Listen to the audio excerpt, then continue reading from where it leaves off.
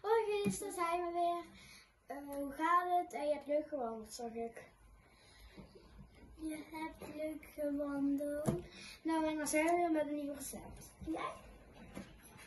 Goed, ja, ja. Waar was hij? Witlof met kaas. Dus je moet uh, witlof met kaas maken. Veel succes en uh, toi toi toi.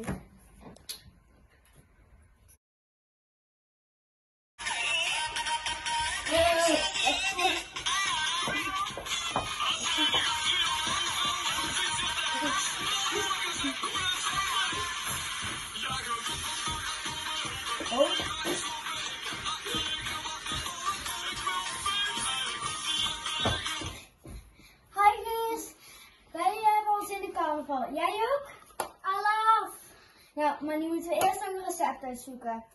Ga je zitten? Nou, daar gaan we. Uh, sambalboontjes. Sambalboontjes. Je moet sambalboontjes maken. Dus ja, wij gaan nog even verder met carnaval vieren. Hallo! Hello world. So finally today it's going to be the day. I'm to make the dishes that uh, my two nieces have picked for me. Um, it's to be two side dishes, but I'm to throw some other things with it so I have a full dinner. Um, I'm staying with a friend. She lives in Devon, and well, it's an hour walk to the shop. I could take the bus and everything, but might as well walk. It's such a lovely day. This is the environment I walk in. You can't see much now, but it's beautiful and hilly and all that. So an hour walk to the shop and then full fully packed an hour back. All right, today it's cooking day.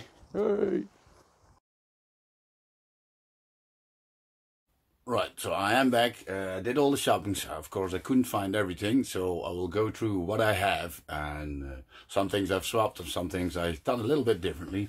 But in the end, I hope I'm going to make a nice, nice uh, dinner.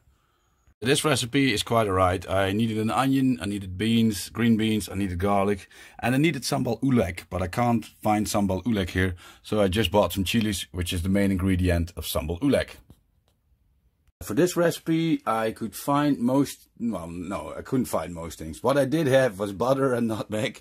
Um, I had to find lovage, but I couldn't find it, so I just used parsley. I know it's absolutely not the same flavor, but it's the only thing I could use or find in that shop. It's a very little shop.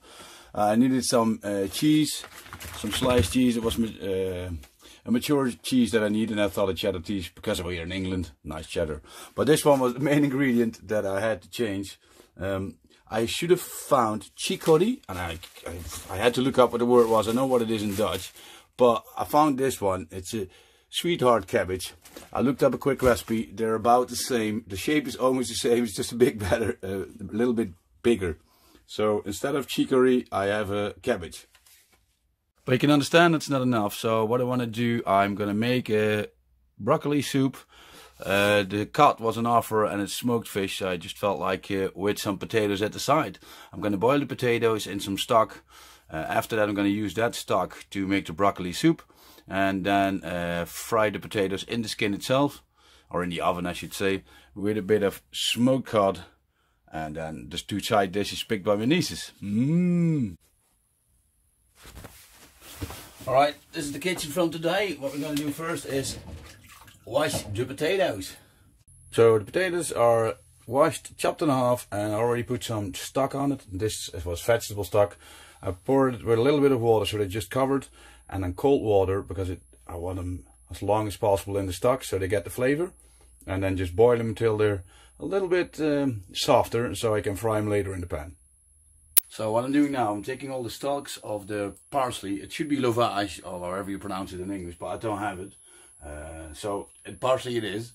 Um, what I'm doing with these stalks, I throw them uh, later on in the soup as well because they give a lovely flavor. So no wastage, just cooking. So we have the chopped parsley and the leftover st stalks, I think you call them. So the cabbage and the broccoli is all washed. Uh, the beans are already washed and chopped. So it's all make small, make petit petit. And then, uh, well, it's going quite well along, I would say. Getting there. Well, now it's time to chop the broccoli, but don't forget one thing. These things you can eat as well. Most people chuck them away, but if you use them for a soup, or even you can stir fry them, just chop them very thin, or fry them if you stir fry them, or whack them in the soup. It's all flavor, all goodness, all mmm. So, what we got here, Clint, it's uh, the broccoli, the stem of the broccoli, I put some garlic in, and of course, as I said, the stems of the parsley. Boil this all, it's nice and soft, blender in it, mm, mm, mm, soup. Oh no, wait, mustard. Just get a few spoons of that in as well, gives it a little kick. So, soup's done, it was a little bit liquid, liquid, liquide, and uh, so I whacked some potatoes in because I had some uh, boiled ones that I'm going to fry later on for our main main course. Um, so I put some potatoes in, boil them a bit longer, and then blended them in, so the soup is a bit thicker and fluffy. So these are the two recipes. Um, it's very simple. So it's beans chopped and washed and divided in half.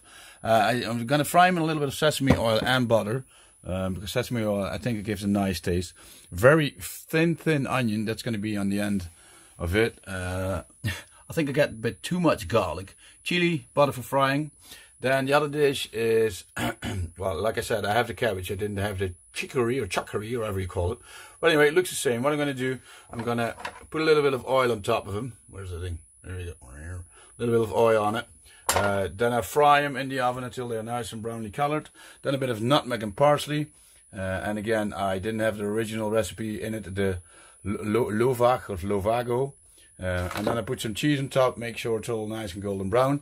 And that are the two recipes that I had to make. But beside that, again, I have some soup and I have some potatoes. Ooh, and some smoked fish.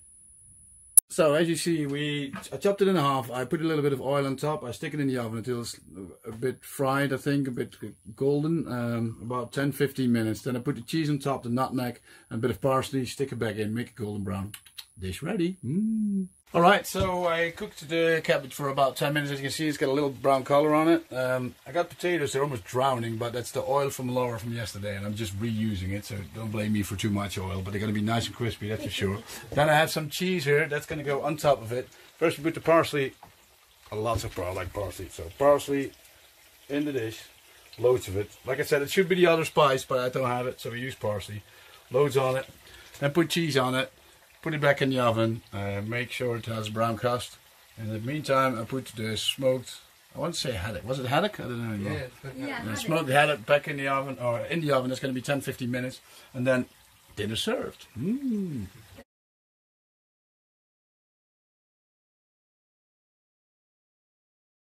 Well, in the recipe it says normally one clove of garlic, but I don't believe in recipes that much, so I did use garlic, but I did use three cloves. So if you think what's all that white stuff, garlic. So I put the potatoes with the with the cabbage uh, thingy, and uh, the cheese is not completely brown yet, but it looks alright. It looks very nice, well melted. So yeah, I think I think we're good to go. So this is it guys, the um, cabbage with cheese, the spicy beans, potatoes and the fish we created ourselves and uh, I think we're going to have a delicious meal. Thank you very much for the recipe and I think it's going to be lovely. Bye! Well everybody, we're having the dish now and it's really amazing. I think we're all surprised about the cabbage. Not really the cabbage is good, cabbage. delicious, delicious. Nice. Yeah. So okay. thank you very much for the recipe and uh, well, I can't wait until the next one. Cheers. Bye. Bye. Bye.